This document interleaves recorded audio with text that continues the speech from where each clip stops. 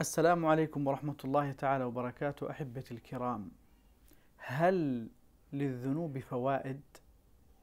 هل للمعاصي وجه مشرق؟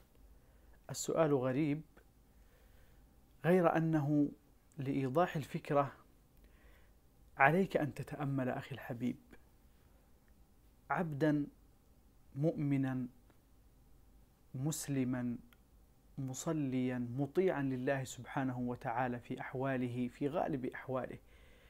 وإذا به ذات يوم يشعر بحالة من الزهو و يعني الصفاء والنقاء ويتأمل في أحواله وإذا به له حظ من قيام الليل له حظ من القرآن لا يفرط في شيء من الفرائض.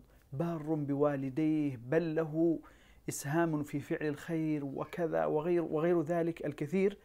ثم إذا به ينظر يمنة ويسرة فيجد هذا مقصرا في الصلاة ويجد ذاك يغتاب الآخرين ويجد هذا آه، يبخل فلا يتصدق فتحدثه نفسه. ثم يجد الشيطان ذلك سبيلا يجد إليه سبيلا ليوسوس له وليشعره بنوع من الإعجاب والغرور فإذا به وهو في هذه الحالة التي أوشك فيها على الهلاك بيد هذا الشيطان اللعين وهو يوسوس له ويشعره ب يعني بأفضليته أو بتميزه عن الآخرين إذا به يقع وفجأة ودون سابق إنذار في معصية تذله وتوقفه عند حده وكأنها رسالة من الله سبحانه وتعالى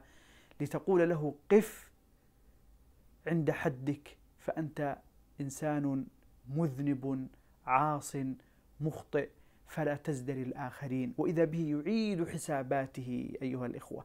وفعلا يقارن كان يقارن نفسه قبل هذا الذنب بالآخرين فيجد في نفسه ما يجد فإذا به فجأة يقول لنفسه ألم تفعلي كذا وكذا؟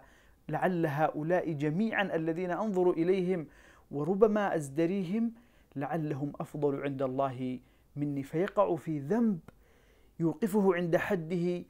فهنا أيها الأخ الحبيب إن كنت عاقلا فطنا صادقا ستستغل وتستثمر هذه الذنوب أو هذه المعاصي التي تقع بين الفترة والأخرى ستستثمرها بطريقة من أو بطريقتين.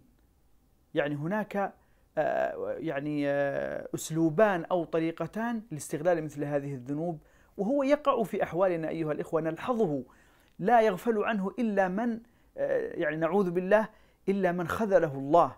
يعني الذي يذنب ويظل أيضا يبرر لنفسه ثم لا يلتمس العذر للآخرين فيزدريهم وهو بعيبه وذنبه.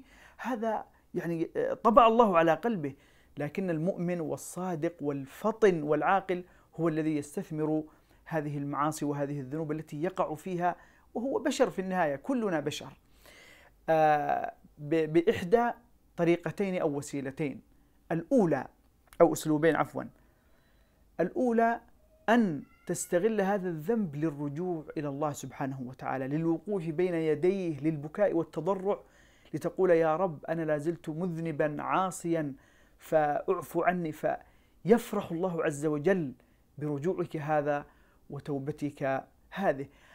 آه الأسلوب الآخر أو الطريقة الأخرى أو الباب الآخر الذي تستغل به هذه الذنوب أو هذه المعاصي في أن تحسن الظن بالآخرين. في أن آه، تلتمس الأعذار للآخرين في الا ترى نفسك أفضل من غيرك بل تحتقر نفسك وتحتمل وتفترض أن هؤلاء الذين كنت تزدريهم ربما لا يقعون في هذه الذنوب التي وقعت فيها. وهكذا أيها الإخوة نلحظ وجها مشرقا لا يعني قد آه، يعني يغفل عنه الكثير من الناس.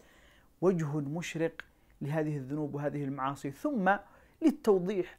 لا يعني ذلك ابدا أن ندعو إلى الذنب أو أن تتعمد الذنب أو أن آه، تقصد أن تعصي الله سبحانه وتعالى. هذا يعني هذا يحصل منا جميعا لكن ليس في ذلك ابدا آه، يعني آه، دعوة إلى أن نذنب لأن للذنوب فوائد أو إلى أن نعصي لأن للمعاصي وجها مشرقا. ابدا